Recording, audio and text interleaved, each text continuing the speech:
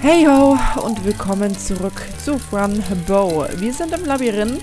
Wir haben es geschafft auszubrechen. Und jetzt jagen wir Mr. Midnight im Labyrinth. Ich hasse Labyrinths. Labyrinthe. Was ist die Mehrzahl? Ich weiß es ehrlich gesagt nicht mehr. Aber mir gefällt das mit den Monstern da oben gar nicht. Äh, ah, äh, äh. Uh, das sieht doch gut aus. Ich höre etwas, was sich anhört wie Mr. Midnight. Das heißt, dann gehen wir mal hier nach oben. Hopp, schön weiterfahren.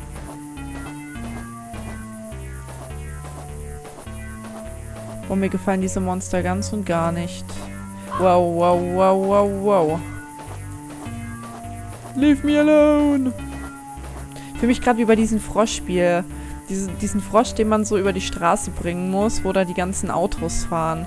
Und irgendwie erinnert mich dieses Spiel gerade voll daran, also das, was ich hier gerade machen muss. Aber irgendwie muss ich nur nach oben. Irgendwie ist das gar nicht so ein krasses Labyrinth.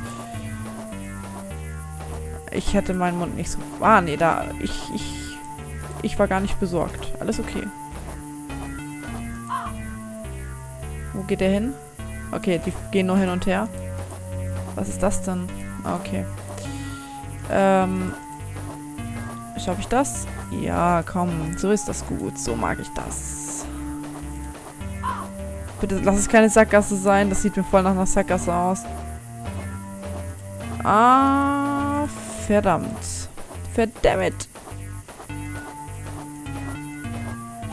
Ich würde sagen, dann muss ich da nach rechts. Ja, ich muss da nach rechts. Oh mein Gott, das wird stressig. Das wird stressig. Das wird stressig. Ah. Hoch, hoch, hoch, hoch. Okay. So weit, so good. Aber ich weiß, dass jetzt doch... Kommt hier nicht gleich ein Monster? Oh, ja, ja, ja, ja, ja. Hopp, hopp, hopp, hopp, hopp. Bis unten, bis unten. Klappt das, klappt das, klappt das? Wie die laufen, sieht voll cool aus.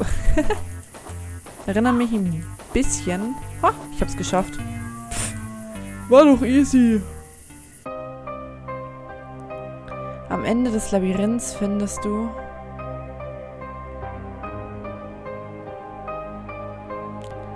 die bösen Wesen der Nacht.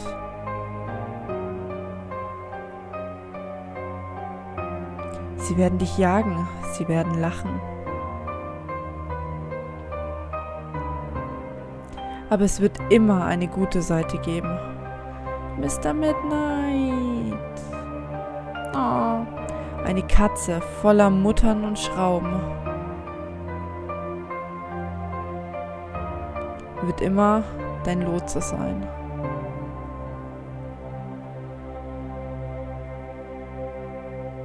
Nein, nicht das Bild. Oh.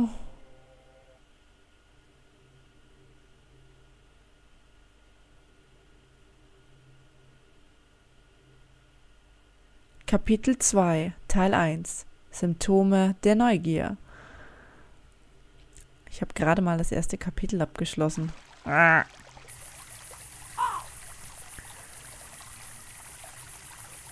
Mein Gott, das war knapp.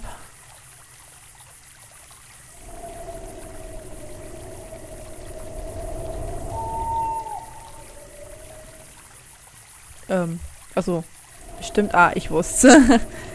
Küken. Ich hoffe, die Wachmänner finden den Kanal nicht. Entschuldigung. Und dann hüpf mal raus, Fran. Raus aus dem ekligen. Oh, was ist das für ein Ort? Ich hoffe, ich finde Mr. Midnight schnell. Oh, ein schönes Instrument. Erinnert mich an eine Schlange, die wie ein Elefant klingt. Und diese kleinen Insekten, die sich in einen Ball einrollen. Es ist gut, einen gemütlichen Ort zu haben, an dem man bleiben kann. Ein hübsches Pferd, dem König würde es gefallen. Da steht Jans und ich habe keine Ahnung warum. Äh. Ein Teddybär. Oh nein, dein Arm fehlt. Zum Glück blutest du nicht. Wow, ein Klavier, es klingt alt. Ich kann damit spielen, aber ich kann nicht darauf spielen. Ich frage mich, wer der Musiker hier am Ende der Welt ist. Der Midnight? Bist du da drin? Wohl nicht. So, sonst noch irgendwas Interessantes? Aha. Ich könnte daraus etwas herstellen. Sieht aus wie eine Tür. So gefällt mir das. Sonst noch irgendwas? Ja, das könnte es gewesen sein. Und ansonsten, dann lass uns mal weitergehen. Obwohl, eines möchte ich noch kurz gucken. Wow. Wow. Ansonsten ist hier anscheinend nichts Spezielles, außer...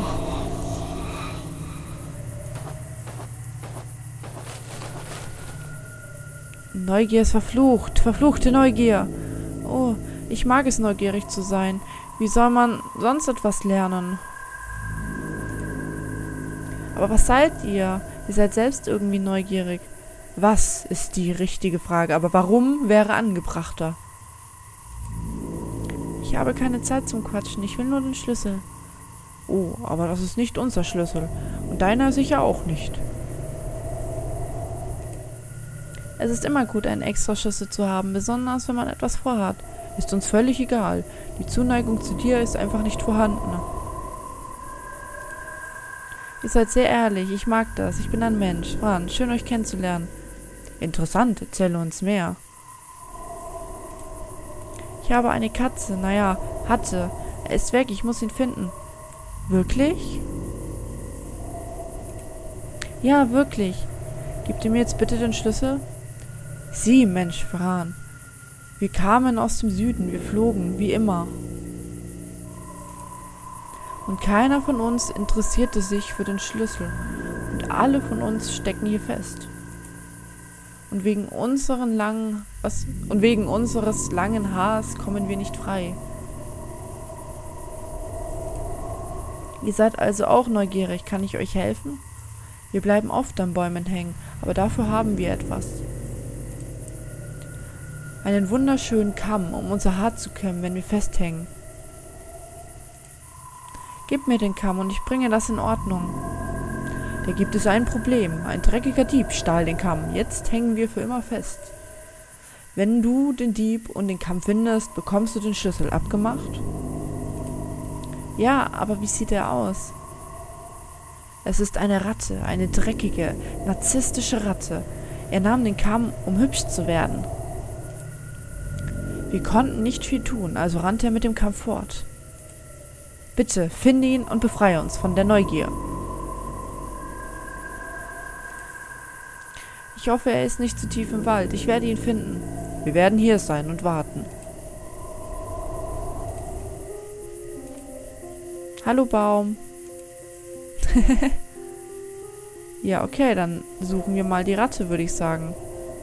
What the... Was ist das? Er hat einen Bart. Es ist ein alter weißer Mann und er hat einen Zauberstab. Er ist bestimmt nett. Wow, das ist ein echt großes Insekt. Oder ist es ein Schwein? Wie auch immer. Es ist sehr komisch. Ja, dann reden wir mal mit dem... Ich bin neugierig. Bevor ich irgendwas mache... Oh Gott, das macht mich immer so... Ja, ist ja gar nichts Interessantes. Na gut, dann reden wir mit der großen... Aber eine Ameise ist das auch nicht. Dafür, der hat ja nur vier Beine. Irgendwie, keine Ahnung. Oh wow, du bist wirklich eine große Ameise. Wer ist da? Oh, entschuldige, bist du real? Bist du real? Sag, bist du real? Ah, du fragst immer das Gleiche, immer. Immer? Was meinst du mit immer? Natürlich bin ich real. Wo bist du hergekommen? Oh, ich bin aus der Nervenklinik geflohen, aber bitte verrate es niemandem. Ich verrate es nicht, keine Angst. Aber was tust du hier? Meine Katze ist irgendwo da draußen und ich muss ihn finden. Eine Katze? Ja, eine schwarze Katze mit großen gelben Augen, Mr. Midnight. Oh, verstehe. Tut mir leid, Mädchen. Bitte sag mir zumindest, ob du ihn hier gesehen hast. Es ist so, dass die Katze gefressen wurde. Gekaut und runtergeschluckt. Hör auf mit diesem Quatsch. Ich muss ihn wirklich finden. Die schwarze Katze, die auf mich zugerannt kam. Ich fange ihn. Ich gebe ihn meinen Käferschwein. Käferschwein? Okay. Mein Käferschwein ist hungrig. Oh, mein armes Käferschwein hat seit Tagen nichts gegessen. Die Blaubeerenzeit ist vorbei und wir haben sie alle gegessen. Aufhören, verstehst du nicht? Mr. Midnight ist alles, was ich habe. Alles ist falsch, falsch. Oh, kleines Mädchen, nicht weinen. Ich kann für dich singen, wenn du magst. Was soll ich jetzt tun? Du weißt nicht, wie es sich anfühlt, alleine zu sein. Doch, ich weiß es. Ich bin der letzte Überlebende. Lass mich dir helfen, ja? Könntest du mir überhaupt helfen? Die Verdauung ist nicht so schnell. Vielleicht lebt er noch im Käferschwein. Sollte ich etwas tun, das Käferschwein zum Erbrechen bringen vielleicht? Töte das Käferschwein. Er ist mein einziger Freund, aber ich brauche das Fleisch. Ich bin neugierig, ob mein Kätzchen noch da drin ist. Tu es. Du kannst das Käferschwein töten und ich, Antonio der Größte, werde das Fleisch essen. Okay.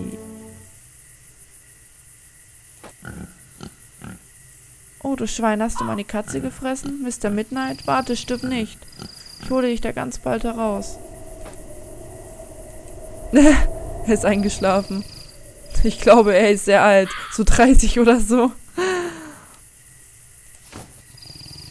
Ja, ich glaube nicht, dass ich irgendwas habe, mit dem ich das Käferschwein töten kann. Deswegen schauen wir mal weiter. Ein Igelchen. Ja, bist du ein süßer kleiner Igel? Was für ein Vogel bist du? Du siehst aus wie eine Eule. Bist du eine? Deine Federn sind wunderschön. Ja. Okay, dann töten wir mal. Wow, die schlimme Axt. Ich werde eine Kriegerin und Retterin der Dinge sein. Ja, dann töten wir mal das Schwein. Wow.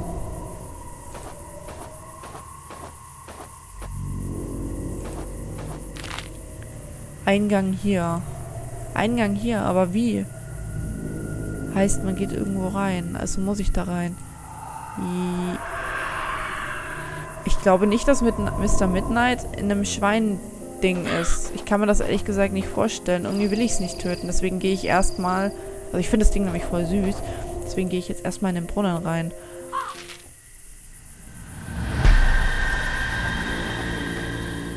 Ein Brunnen. Ich könnte versuchen, ihn zu... What the hell war das? Ähm, ja. Ich kann das nicht bewegen. Es klemmt. War so klar. Ja, dann... So haben wir die Axt. Bäm. Und weg war sie. Wer hätte das gedacht? Hier drin ist kein Loch. Alle meine Kräfte haben sich vereint, etwas Unnötiges zu tun. Oh mein Gott. Ich kann dich so verstehen, wirklich. Das wird mich auch so abfacken. Das ist wie, wenn man sitzt und dann steht man auf, um sich was zu essen zu holen. Und dann ist da kein Essen. So voll umsonst aufgestanden. Muss eine Bedeutung geben. Hm, kann ich nochmal mit der Axt draufhauen? Ich kann das nicht tun. Kann ich mit dem Brett was machen? Ich sollte erst eine komplette Tür erstellen, bevor ich das versuche. Ähm...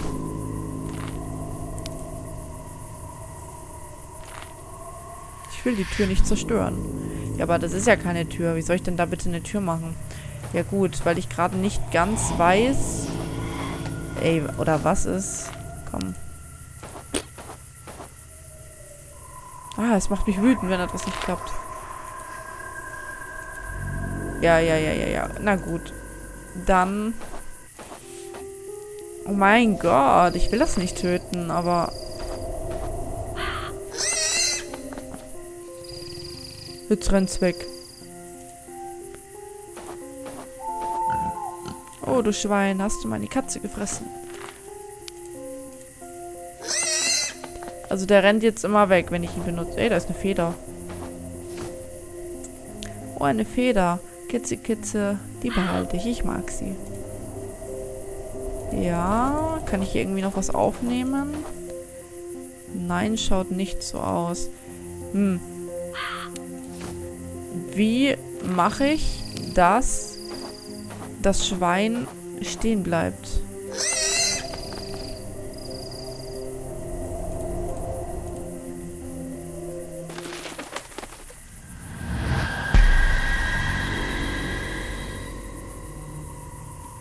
Ja, okay.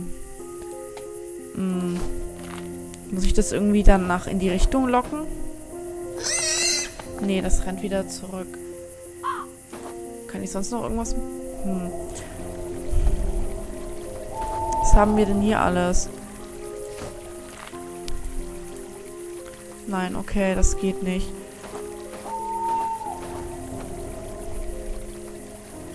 Ah, mir ist gerade etwas Lustiges eingefallen. Okay. Was könnte ich... Könnte ich hier irgendwas nehmen?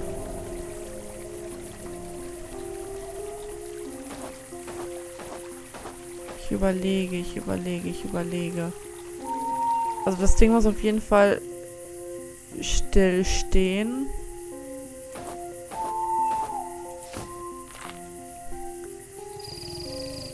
Wenn nicht einfach irgendwie... Naja, hätte das sein können. Vielleicht kann ich es irgendwie verstecken, aber... Was mache ich?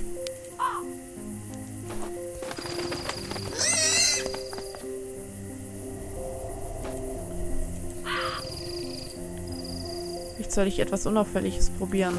Kann ich ihn kitzeln? Äh. Kitzel, kitzel.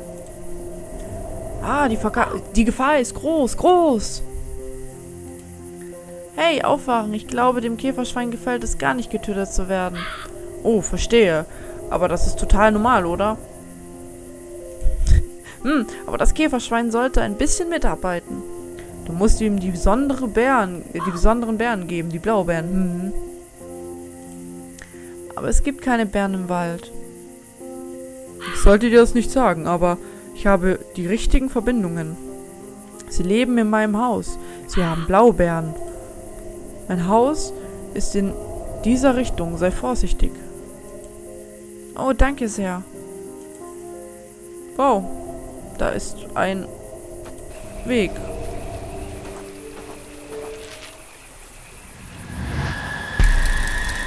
Mr. Midnight! Nein, nein, nein, nein, nein, nein, nein! Piep, piep, piep, Schaufran, ich bin in Gefahr. Finde mich lebendig, finde mich tot, piep, piep. Finde mich eines Tages in einem goldenen Käfig. Kann ich das irgendwie rausholen, das Vieh? Wie hole ich, wie hole ich Mr. Midnight hier raus? Himmel, Orsch und Zwirn.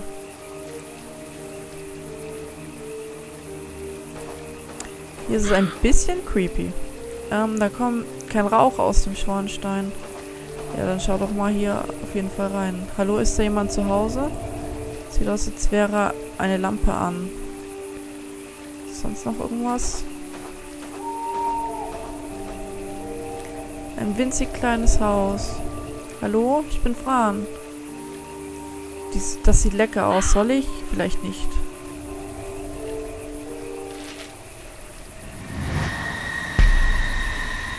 Ja, geil, ein Heuballen. Wow, das sind wirklich große Ameisenhügel. Also so Ameisenhügel. Das ist gruselig, wenn man bedenkt, dass Millionen Ameisen da drin sind. Ich bin mir nicht sicher, ob ich da rein will.